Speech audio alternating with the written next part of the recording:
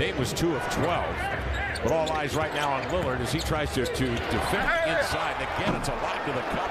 And Allen with more damage. Yet the Blazers lead it here by six. 14 points, 8 boards, 2.8 assists, and a block. Dame shuffles his feet, spins inside, leans in for the scoop, left it short. Ball jarred free. Grant had a hand on it. In the backflow, it's stolen away by Okoro. And now here is Mitchell up ahead to Darius Garland. And he'll flush a three-point shot.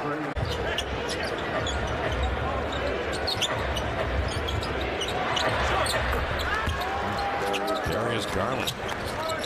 As it comes out to the hands of Okoro, he's on the run with Garland. There's that old dependable that Cavaliers struck the Blazers with in the first quarter. The lob to the cup to one of the seven footers. Kirk has it deflected away from behind, and Allen will go to get it. Long lead pass. Cedi Osman scores in transition. Two quick fouls though here uh, to start the third quarter, and fouling negates hustle. The Blazers want to have game plan discipline. Garland, nice pass inside of Mobley with a two-hand jam. Portland 6 of 15 from three.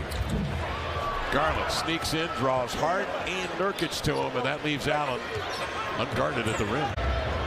Blazers with a lead of seven, 9.56 to go third quarter. Portland has lost four in a row, including that loss here at home against Orlando a couple of nights ago.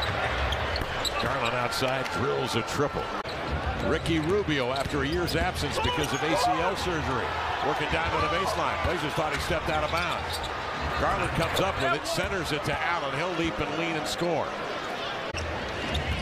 On top to Kevin Love. Garland triple team walled off to Rubio. Another look at three. Got it. That's his second corner three Rubio has hit tonight. 82-77 count. 3.48 to go third quarter.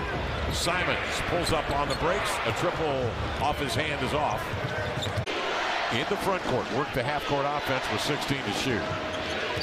Garland nearly slipped. Drives into the lane. Pumps it up and in. Cavaliers by one. 3.35 remaining.